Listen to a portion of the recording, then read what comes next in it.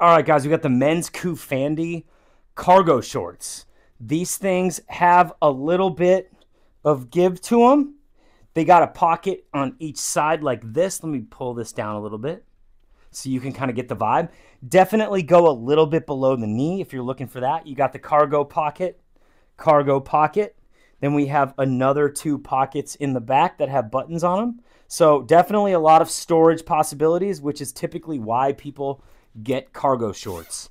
Um, as you can see, they have a traditional kind of waistband where you can put the belt. Um, I went with 32. Typically wear 32. These fit really well. Um, I think these are great cargo shorts. Really do what they say they do. They live up to the hype, and they're an incredible value when you compare it to other cargo shorts. These things are a no brainer. Highly recommend.